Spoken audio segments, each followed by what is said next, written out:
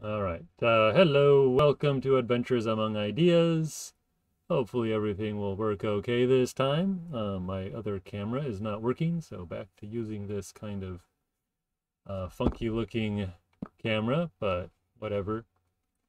Uh, there's always something, always some problem. But anyway, today, Adventures Among Ideas, I'm uh, going to talk about uh, John Dewey again who I like a lot. John Dewey's, um, I'm going to look at his critique of the reflex arc concept, his uh, critique of the reflex arc concept. This was, uh, uh, he first wrote about this in a paper in 1896 called The Reflex Arc Concept in Psychology. This is a classic paper, one of the classic uh, papers in psychology and it's good to know about. I think everyone, well, at least uh, you know, people who deal in this area, who work in this area, will know the paper. Um, they may or may not have actually read it, though. Um, I've spent um, a lot of time reading it recently. I, I read it before, but um, it didn't really uh, sink in, I think. So I decided to focus on it this week just to uh, you know have an excuse to look at it again and um, absorb it more than I have in the past. So it's a it is a really good paper. It can be tough to read. Dewey can always be a little um, tough to read, I think.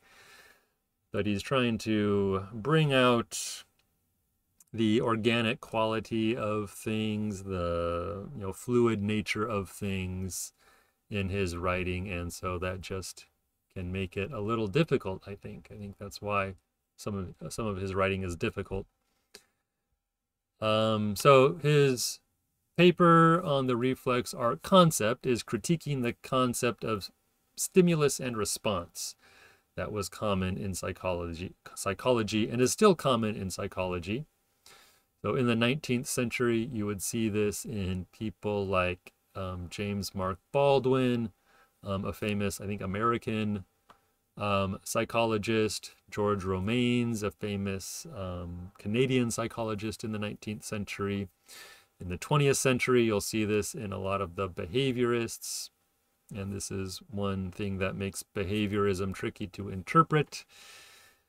And you see this also in, you know, continuing in other branches of, in other schools of psychology and in neuroscience just this idea of stimulus and then response, stimulus and then response.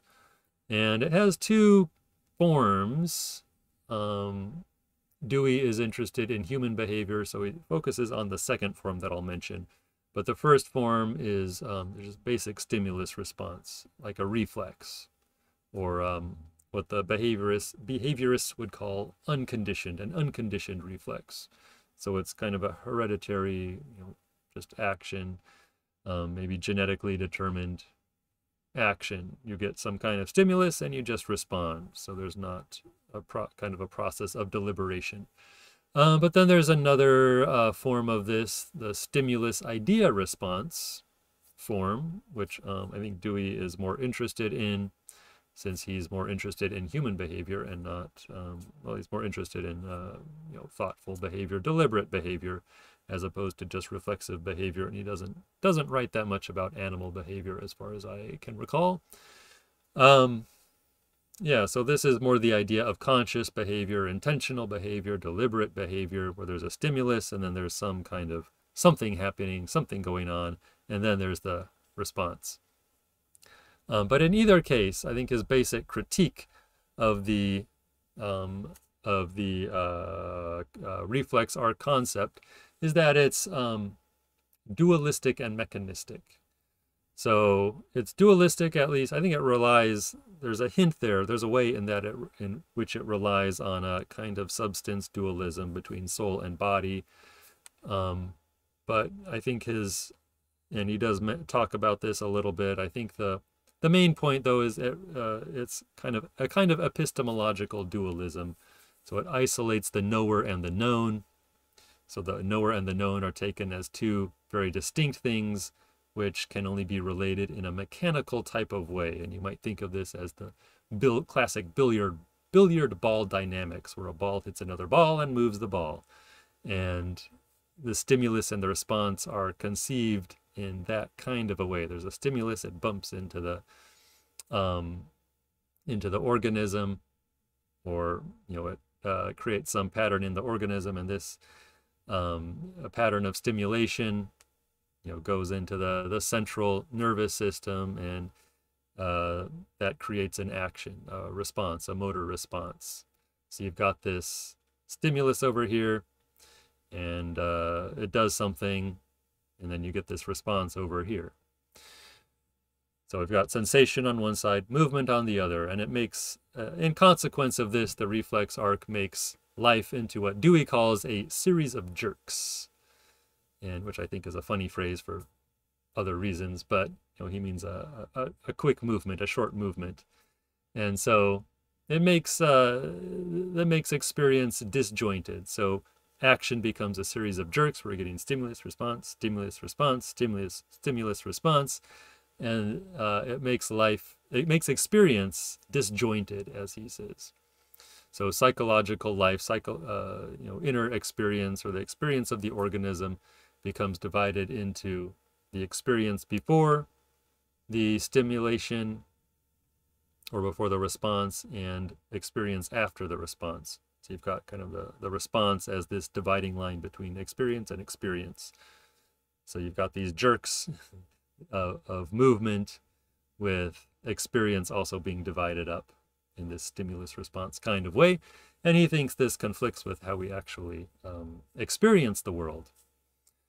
Uh, I also wonder if this, he, Dewey doesn't really talk about this, but I also wonder if this way of thinking can lead to uh, a certain kind of solipsism because we perceive of ourselves, we understand ourselves as separate from the environment, passively in a way receiving stimuli from this environment over there, which we then act on or not, and we become these external knowers of the of this other environment over there, and we uh, to see ourselves as self-contained in a way rather than as Dewey would want to see us as phases of this broader environment. So everything's kind of a whole, and you can look at different phases of it, but it's all part of a whole. It's not this and this.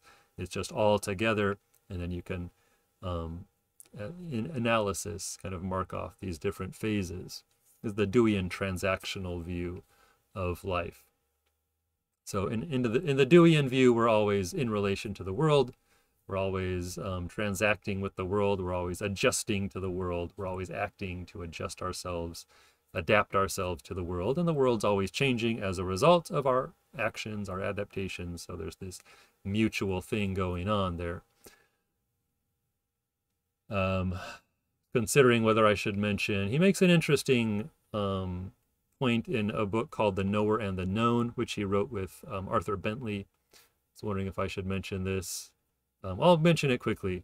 I wasn't exactly sure how to tie it in, but um, uh, Dewey and Bentley point out that if an organism only had one transaction with the environment, you know, that's a, it makes it much less clear. It would make it much less obvious to you where the organism begins and the environment ends.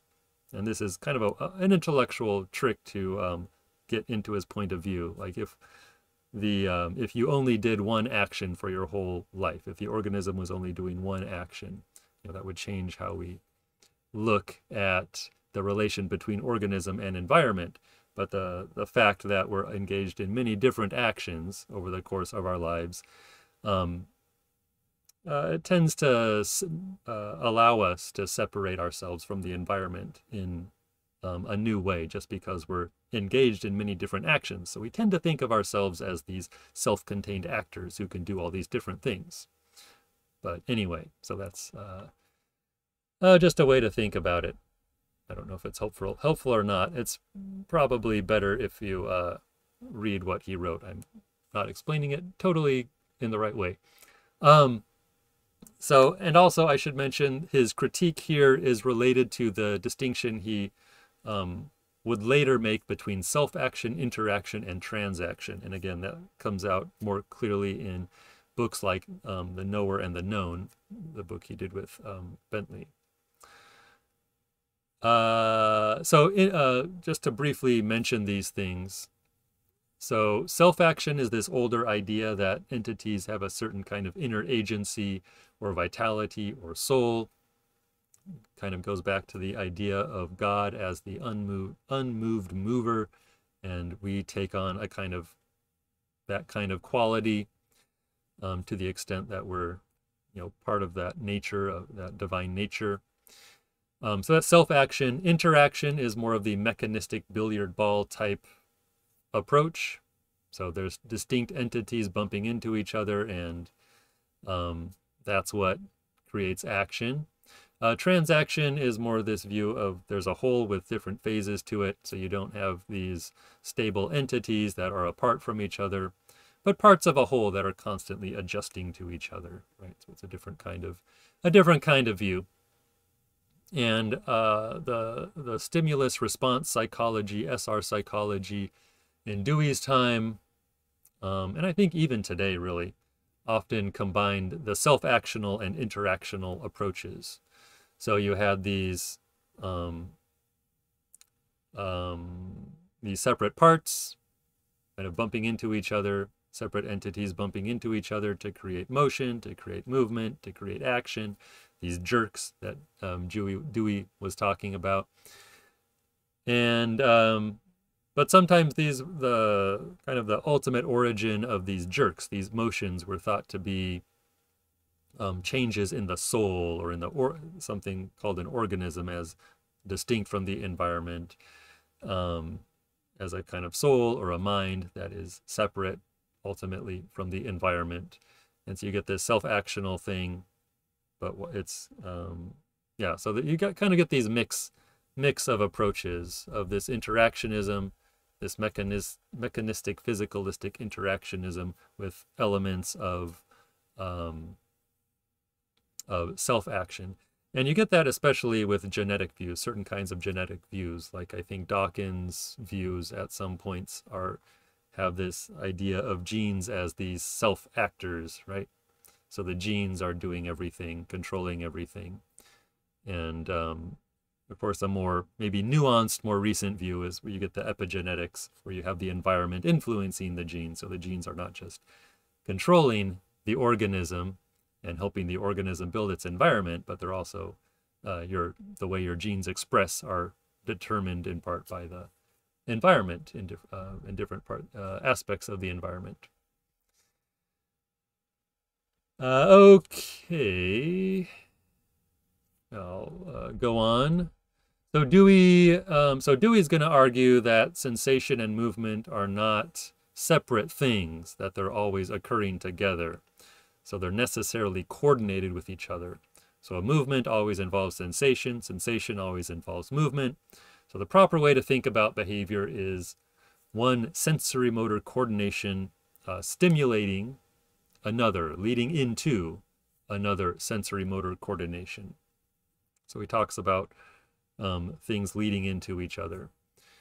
Uh, stimulus and response then are not two things, but they're one thing that we, uh, that we can analyze from two different perspectives because we're looking at the same thing. We're looking at um, a sensory motor coordination, so something that's both sensory and motor, that has both sensation and movement, but you're looking at it from two different perspectives in terms of its stimulus function or in terms of its response function.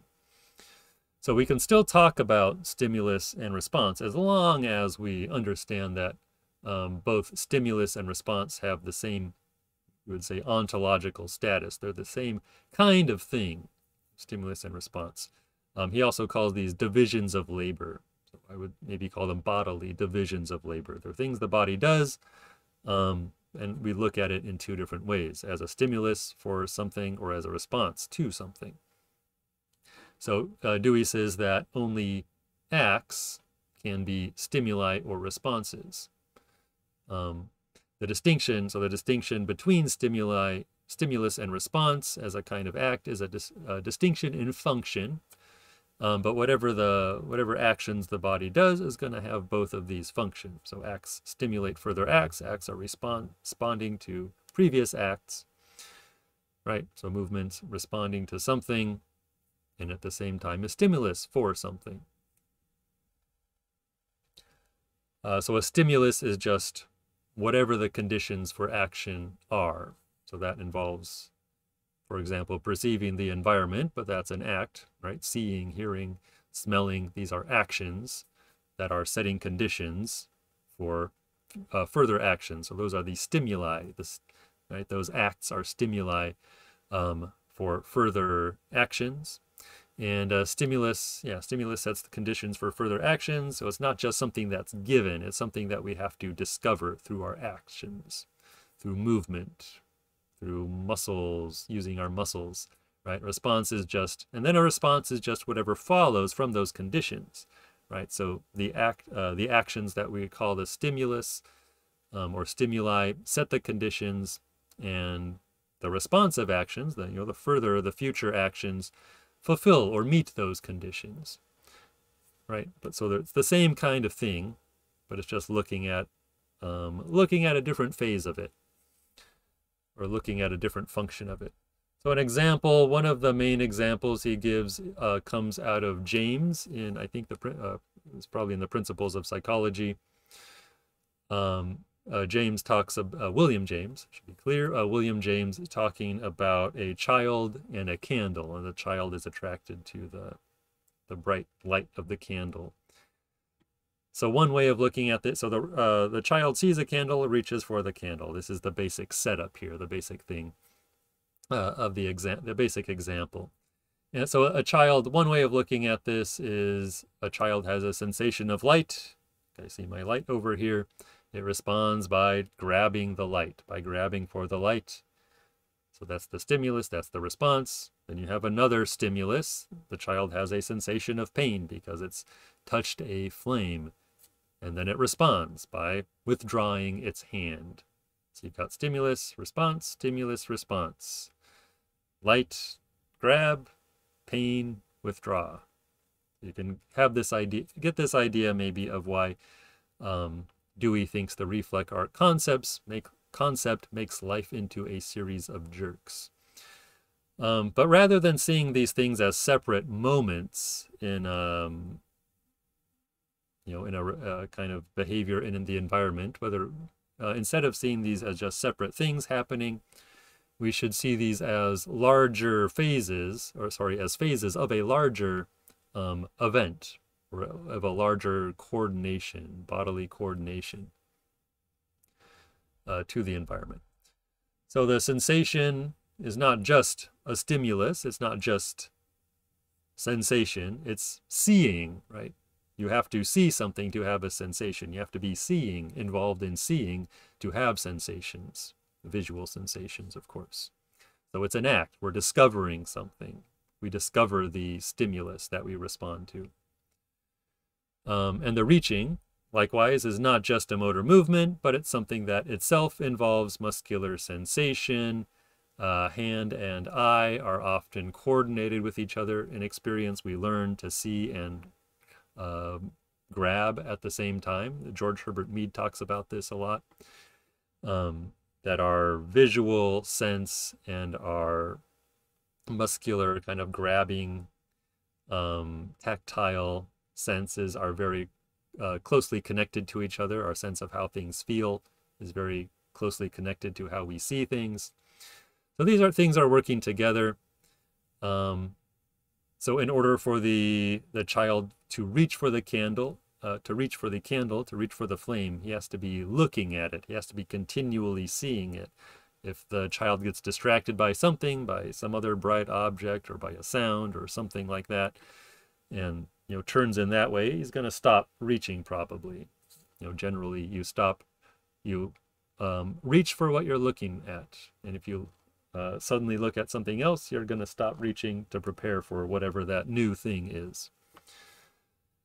Uh, so the sensation, in other words, has to continue throughout the response. So these things are kind of uh, overlaying each other. They're going together with each other. They're going into each other, right? Sensation has to continue through response, along with, of course, other sensations that you're starting to get from the act of reaching and knowing where your hand is and all of that. Uh, and then when the child touches the candle, the heat pain sensation becomes part of that same circuit of experience that we're already involved in, or that the child is already involved in. So the sensation of light, so the child has had this sensation of light, of seeing and experiencing light, it takes on a bigger meaning after the child has touched the light with his hand.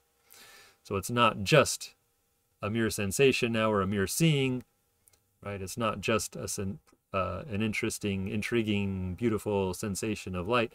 It's a what he says, seeing of a light that means pain when contact occurs.